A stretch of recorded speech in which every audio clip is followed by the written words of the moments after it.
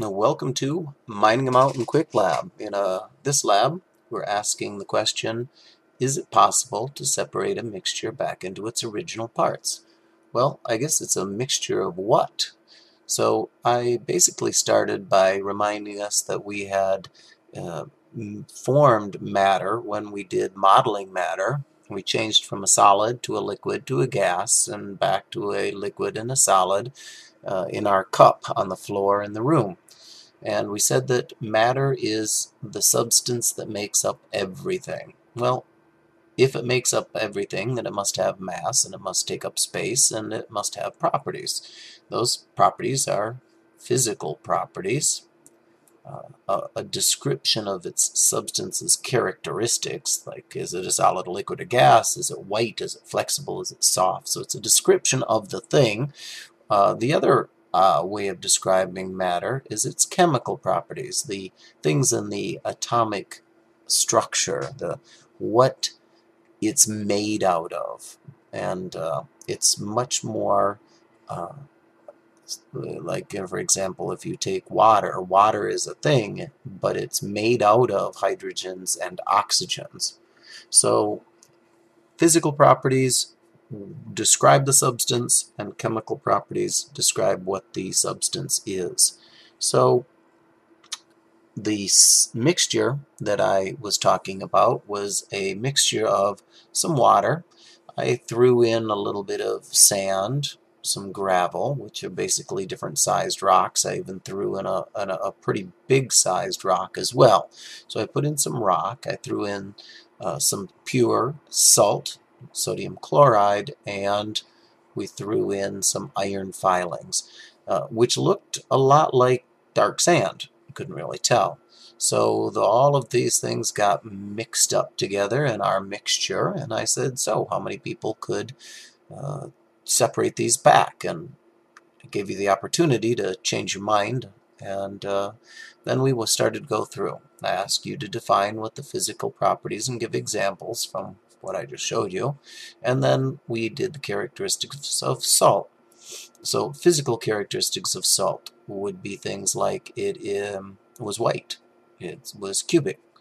Uh, chemical properties was that it is uh, sodium, Na sodium, I'm messing up here, and Cl, sodium chloride. Sand was basically minerals because that's what rock is, is basically uh, different mixtures of minerals together. Iron is iron. Uh, water is basically H2O minus the turtle part of it, and gravel, again, is a mixture of minerals. Uh, what we noticed was that uh, salt was white, um, but it was a solid. Sand was a solid, but it was made up of different sized particles, about the same size as salt and iron. Uh, so these were very similar. This one was white. These were sort of tan to brownish. These were blackish, grayish. Uh, this was obviously a liquid, and this one again was larger. So I started to say, okay, so if you had to start to think of these things as as uh, what what are the differences between these? And a lot of people right off the bat said, well, gravel is big, uh, relatively big compared to the smaller sand and the salt and the iron. So these were small, and uh, and so we went through the whole process, and basically I said, now think about this.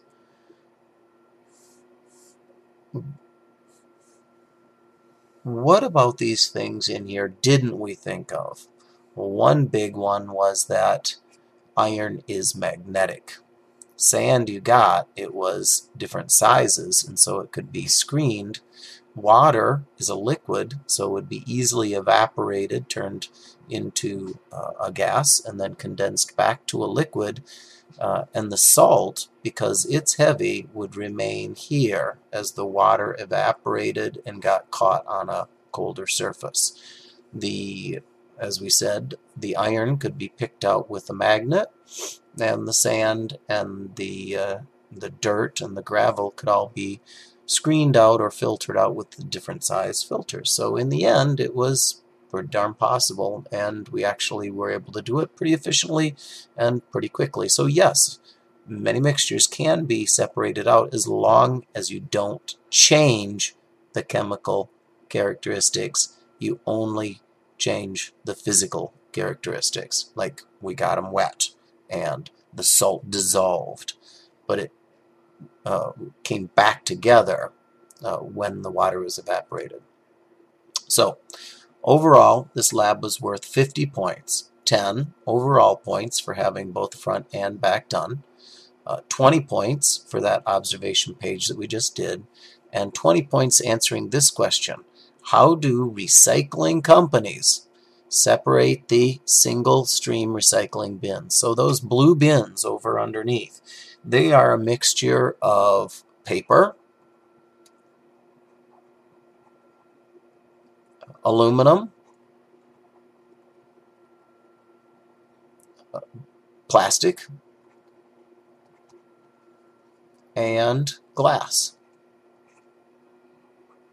So what characteristics of paper, aluminum, plastic, and glass differentiate each one of those things uh, to allow it to be separated from the others? Glass is heavy and it breaks. Plastic is light, it's a solid, but it floats. Aluminum can be separated based on some of its metallic properties, or at least many of the tin cans and some of the other uh, magnetic uh, properties of it. Paper both floats and is very lightweight, so maybe we could blow it off. Um, but in any case, here's a quick video on the Science Channel that goes over that. Meet MRF MRF is an acronym for a Material Recovery Facility. This mammoth invention can tackle all 154 tons of recyclable materials it receives every day. It might look like garbage, but this MRF is cutting edge. It's equipped with technology that enables MRF to separate materials from a single stream. Single stream recycling is really um, a situation where we've taken sorting your recycled material in a um, controlled environment, uh, such as a recycling facility, is able to sort it automatically. So recycle your old multicolored bins because being green has gotten even easier. Gets them in, in one large pile on it, what we call the tipping floor.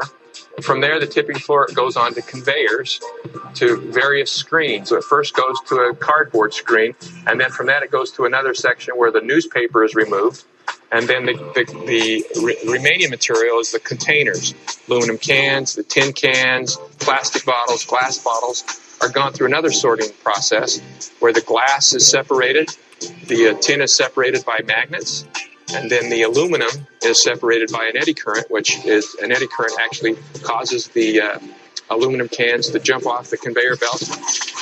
An eddy current uses magnetic fields to separate the materials we use centrifugal force, we use magnets, we use uh, gravity, all these things that are helping us in the process of, of, recycling the material and separating the material to, to make it uh, a, a, commodity that's uh, acceptable to those businesses that need it for to make their products.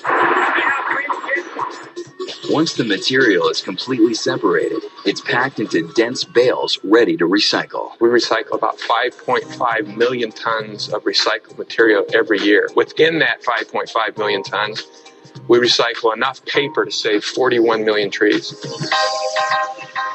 Next, how the science behind this seaweed can.